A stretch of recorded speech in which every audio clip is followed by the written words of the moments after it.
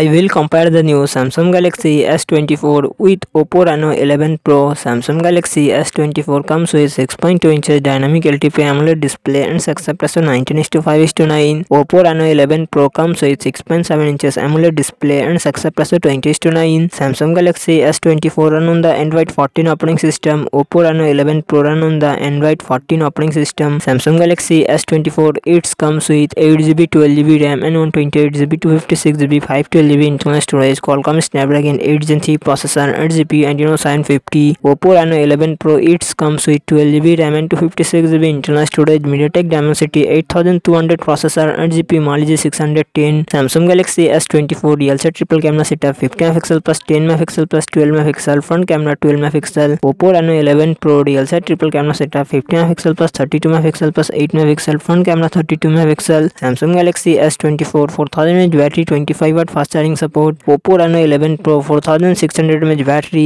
80 watt fast charging support